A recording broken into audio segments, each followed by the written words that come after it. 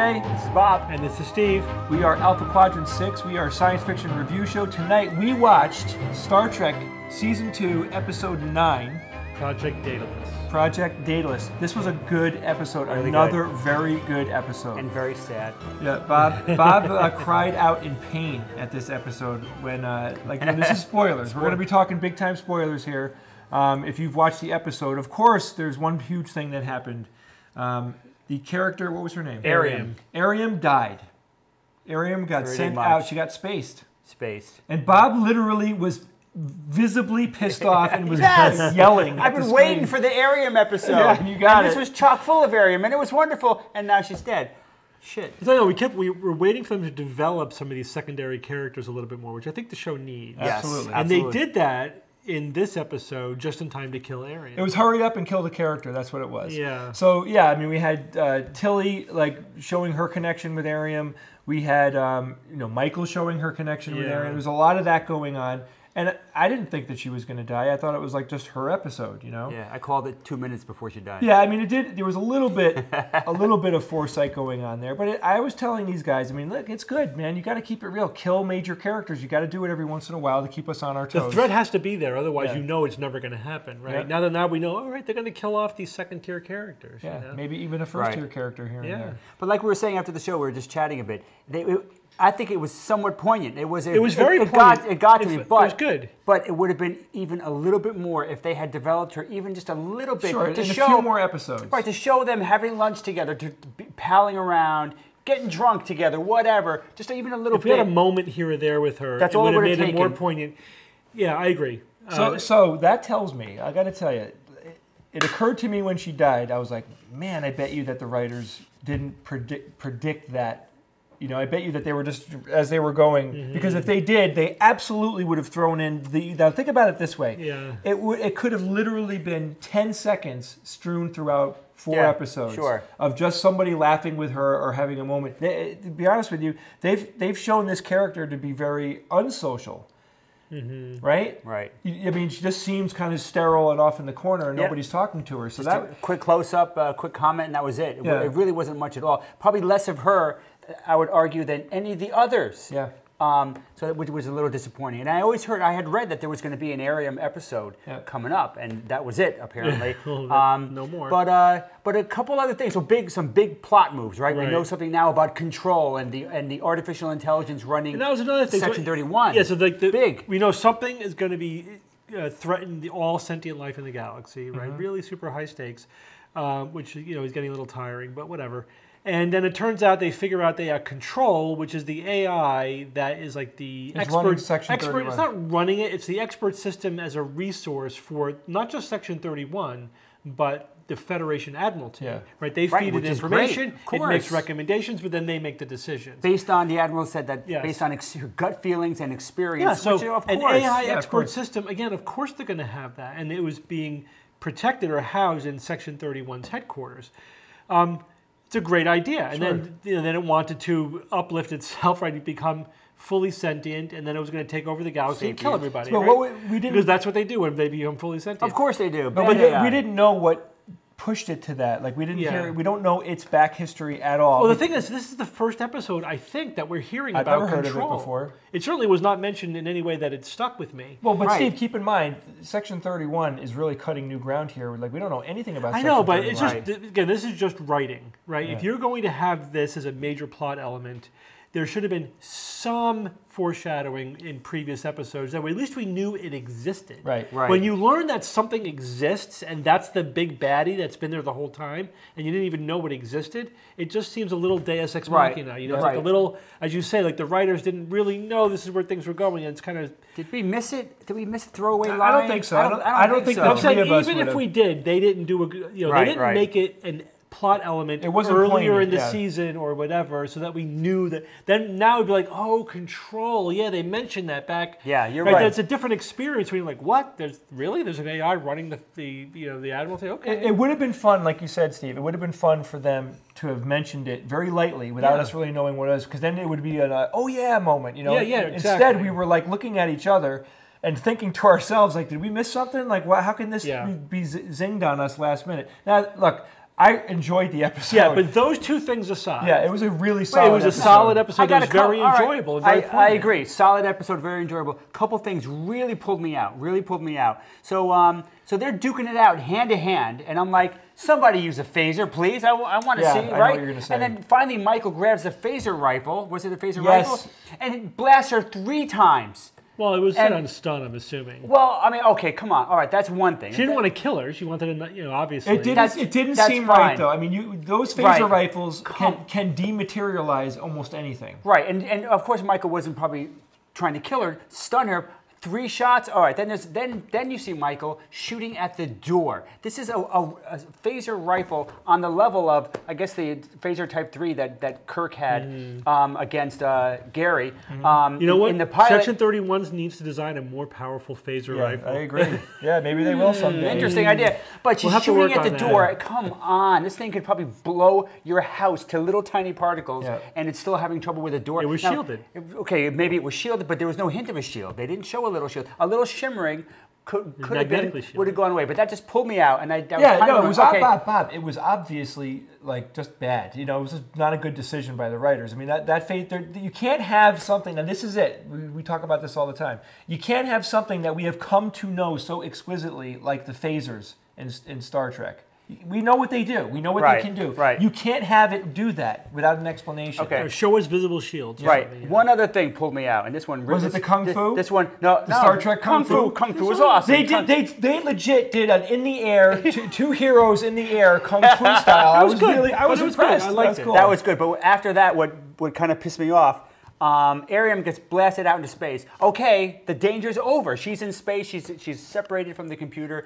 Um, it's not the bad stuff's not going to happen. Okay, beam her in, beam her onto Of the course. ship. If you are if you if you were Steve, if I threw you into a vacuum right now, you could survive for one minute. Now, if that ever happens, don't hold your breath because Yeah. you could live longer if you don't hold your breath. Why? I'm just I'm just saying. Trust me, trust me, Jay. So they, they had a minute. You don't want to have a lung full of air because then that will expand in the vacuum. Oh, right. okay. So they could have beamed her. They could have had a shuttle. They, I mean, why couldn't they beam her out? What was wrong with the transport during this whole time? I totally agree. Come on, I totally agree. As a matter of fact, That's annoying. they could have transported someone on the other side of the door to turn Yeah. the Or they could have transported her from where she was into the brig. Yeah.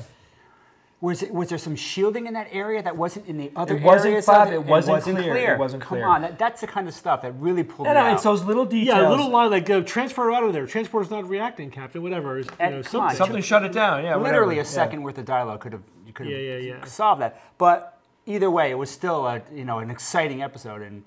The acting was very good. I loved when Spock Spock you know Oh, yeah, so got pissed. Yeah. Major scene Yes. between Spock and Michael. Very, I loved it. I loved Yeah. like that scene. And again, this is like this is Spock, and like one of the most iconic science fiction characters of all time. And so the, the, the expectations are huge. Yeah. And I think they're doing a really good job because Yeah. like it's Spock, but it's not Leonard Nimoy. He's not trying to be Leonard Nimoy, Yeah. but it's the character Spock. Yeah, he's doing his own I think he's doing his own version of it, and it's fine. I'm not having, not feeling myself questioning, you know, or, or disbelieving that at all. I think you Yep. know I'm buying into it. There was nuances in that scene I thought were, were Yes. fantastic. One, um, when Spock was like like only a Vulcan can do, right? He's so intelligent and he's using everything he knows about Michael to just Eviscerator, yeah. stick I mean, a that's- dagger in her because there's something going on there. Yeah. We don't have the full story yet.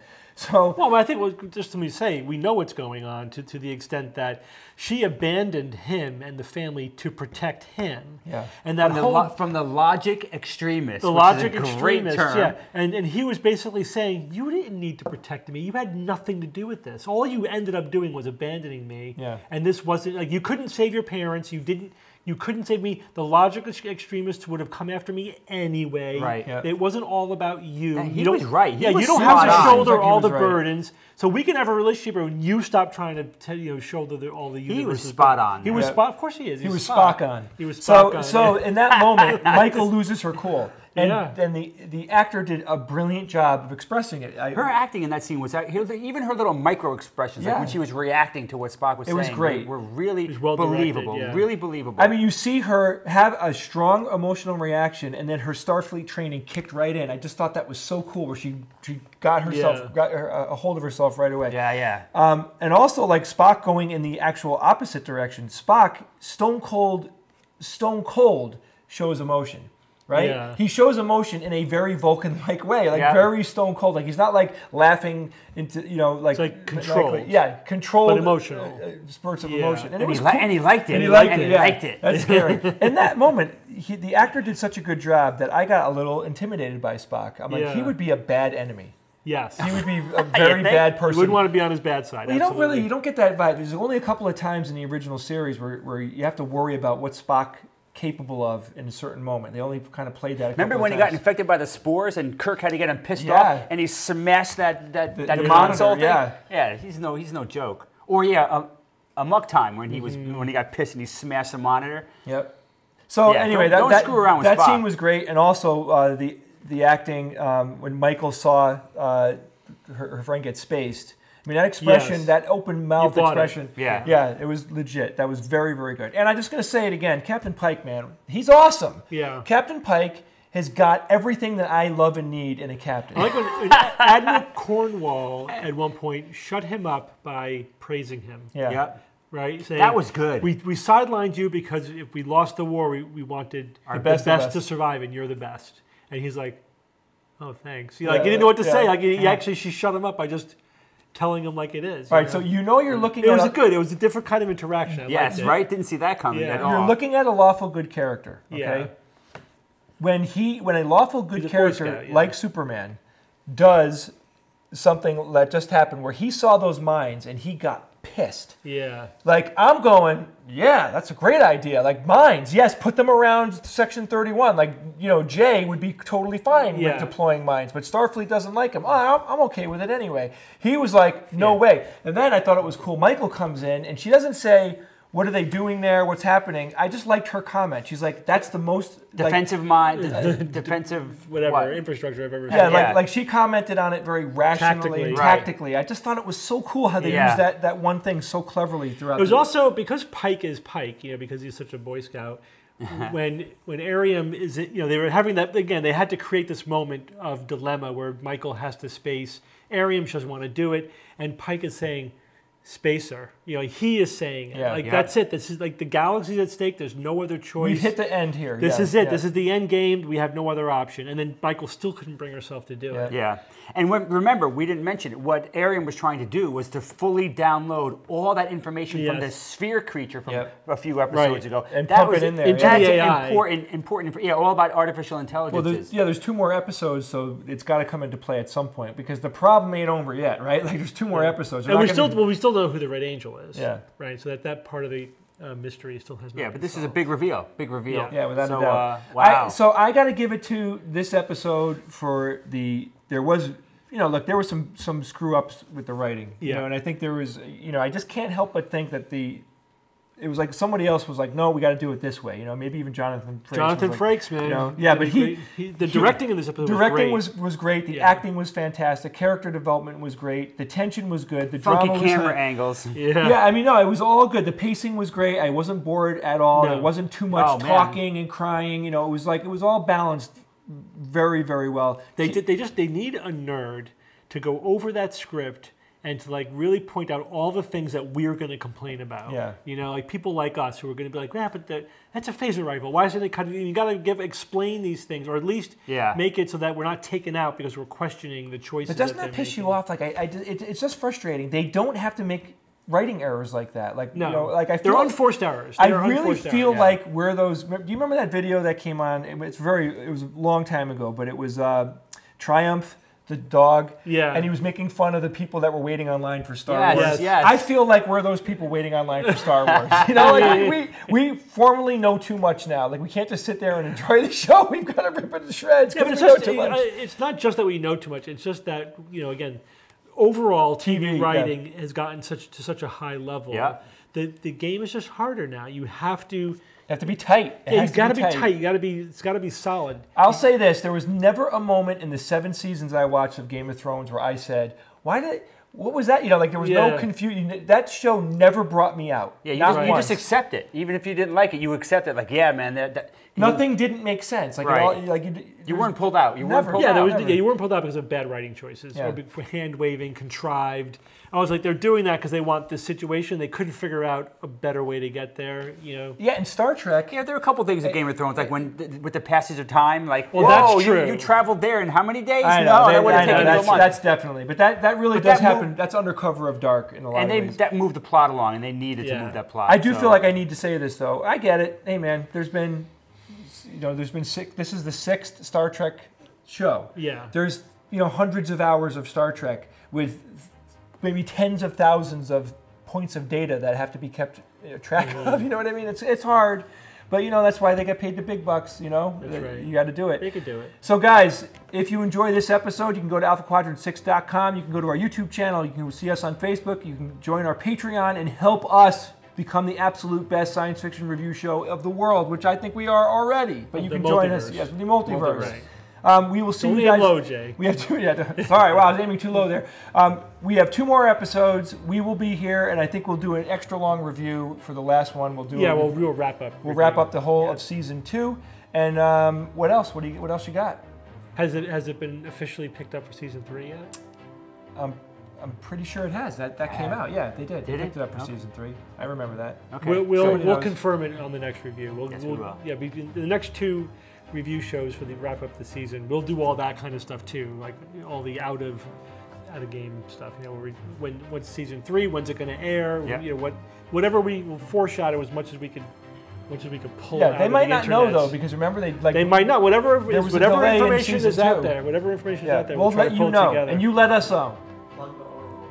And the uh, we just did a review of the Orville. We, we reviewed seasons one and two, and we admit it.